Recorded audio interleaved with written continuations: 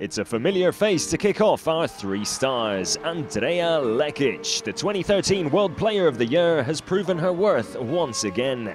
The team leader was the deciding factor in her side's draw with Rostov-Don scoring five goals in the second half during vital moments in the game.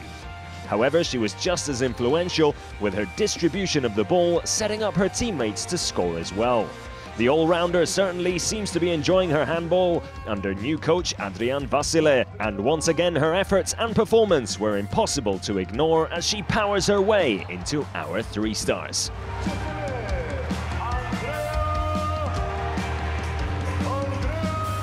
Despite losing to Metz handball, Katrin Klujber was still one of the most memorable players of the round. The 20-year-old was a constant thorn in the side of Metz, giving them plenty to think about throughout the game. She scored seven goals in the opening 20 minutes against the French powerhouse, ending the game with a total of 12 to her name. An incredible display from the young Hungarian. It'll be interesting to see how she develops and her season unfolds because with performances like this one, we might be hearing her name a lot more often. Győr were simply out of this world in round two, and it's becoming increasingly difficult to imagine anyone knocking them off the throne. A total of 10 goals meant Oftedal would finish as the game's top scorer.